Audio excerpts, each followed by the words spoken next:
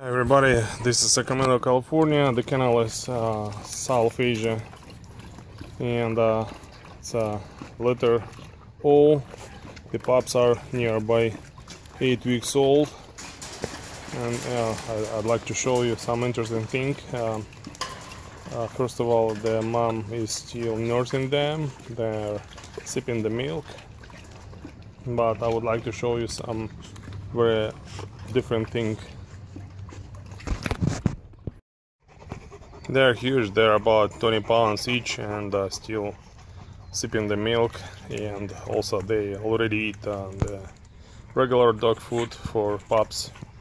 And uh, yeah. But just wait for a while